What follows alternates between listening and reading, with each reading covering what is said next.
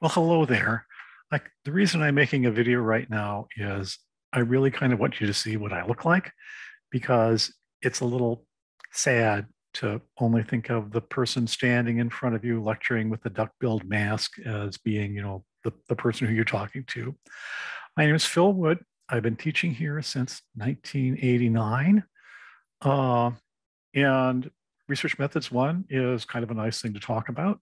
I have a few unique perspectives on this, and you'll learn a little bit that I deviate from the book every now and then.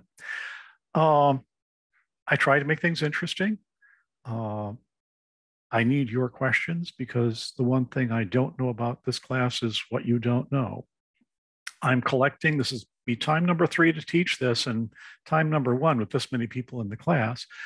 Um, and I don't know what challenges you might have. Now, I try to make a point to send you the results of my teaching evaluations from before with the comments so you know kind of what to watch out for and the things that I'm trying to improve on.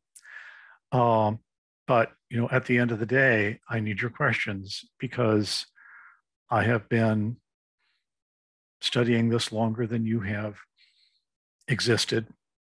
And uh, it's uh, you know it's a it's a whole for me. I can understand the ins and outs of the terms, but I need fresh eyes, your fresh eyes, to figure out what we need to work on. A lot of the class is vocabulary, and I'll have some things to say about that. But for the moment, you know, this is what you're dealing with, gang, and uh, I look forward to talking to you some more.